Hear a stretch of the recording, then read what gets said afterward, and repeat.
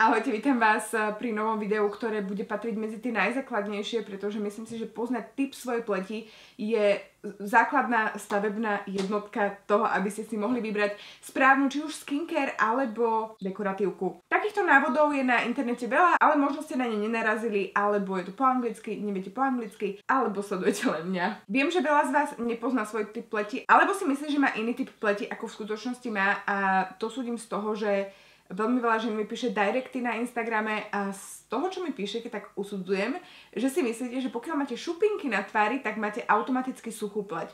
Čo absolútne nie je pravda, pretože šupinky nie sú spojené s typom pleti, ale so stavom pleti a šupinky má pleť, ktorá je dehydratovaná. A aj mastná, aj suchá, aj zmiešaná, hociaká pleť môže byť dehydratovaná. Povedzme si na začiatku možno, ako sa vyhnúť šupinkám, to bude naozaj veľmi rýchlo.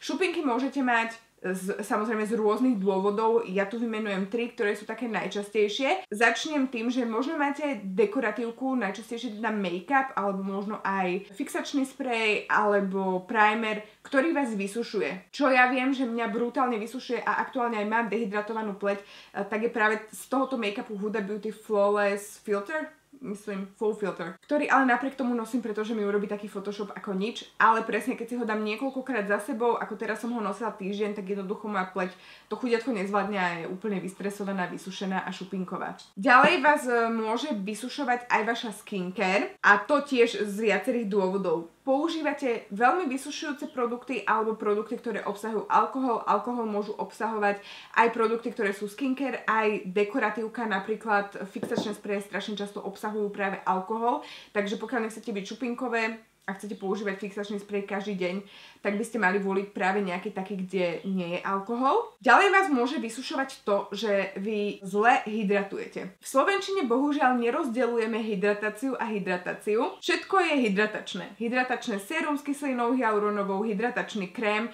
ale vy na to, aby ste mali dokonale hydratovanú pokožku, potrebujete splniť dva kroky hydratácie. Prvý je hydrating, a druhý je moisturizing. Takže možno keď máte výrobky, tak si skúste prečítať aj anglický názov. Tam tým, že to rozdielujú, tak budete vedieť, že splňate oba tieto kroky. Čiže hydrating dodáva vlahu do pleti, je to napríklad serum s kyselinou hyaluronovou. No a moisturizing je krém, uh, ktorý obsahuje aj nejaké zložky, povedzme olejové, alebo niečo, čo vám zafixuje tú vlahu v pleti.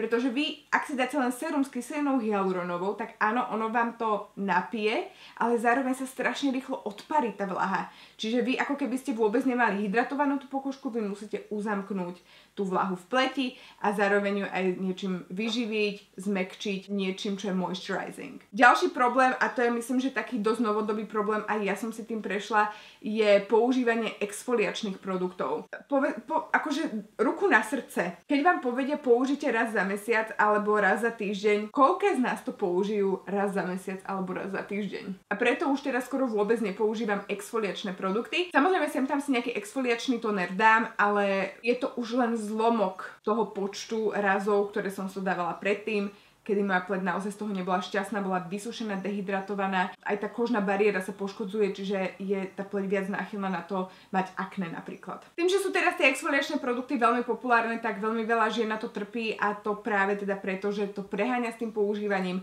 Prípadne vaša pleť vôbec nepotrebuje exfoliáciu, takže ja by som sa možno na nejaký čas vyhla exfoliačným produktom úplne, ak máte nejaké problémy s pleťou. No a teraz už si poďme povedať, aké máme typy pleti a ako zistíme, aký máme typ pleti. Takže pleť môže byť suchá, normálna, zmiešaná alebo mastná. Samozrejme tých typov pleti je oveľa viac, ako každý je úplne iný, ale dalo by sa to kategorizovať do týchto štyroch kategórií. Je veľmi, veľmi jednoduchý test na to, ako to zistíme. Čo urobíte? Keď pôjdete sa odličiť, tak sa odličte. Potom použite nejaký úplne obyčajný jemný čistič na tvár, nie nejaký extrémne vysušujúci, ale úplne klasický. Ja teraz používam tento od značky Foreo. Čiže umiete si tvár, vyčistíte si ju týmto cleanserom a potom len utriete do úteraku a necháte tak. Nedávate žiaden krém, žiaden make-up, nič. Necháte tú pleť úplne holú. Počkajte ideálne také dve hodiny, bude to trošku nepríjemné budete možno sami prekvapené, aké je to dosť nepríjemné, keď si nedáte žiaden krém alebo aspoň sérum. No a potom si zoberiete buď takéto odmasňujúce obrúsky po tých dvoch hodinách, ktoré kúpite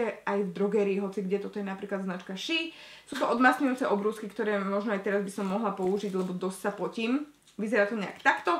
Alebo ak si nedočkáve, tak uh, môžete si zobrať klasický papierový obrúsok a tak toho rozdelíte na polovicu, aby ste mali takýto tenký pásik, no a skúste si to nejak takto natrhať. Čiže takto by to nejak mohlo vyzerať. No a teraz tieto papieriky, nalepíte si ich na bradu, na čelo, na čele by sa mi to mohlo udržať teraz, aha, na lica, na bradu, tu sa mi to asi neudrží, a aj na nos.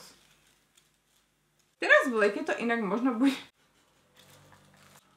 Teraz v leke to možno bude trošku ťažšie zistiť. No inak vidíte, to mi nenapadlo. Teraz, keďže je teplo a potíme sa, tak um, pravdepodobne tie papieriky môžu zostať nalepené aj preto, lebo ste spotené.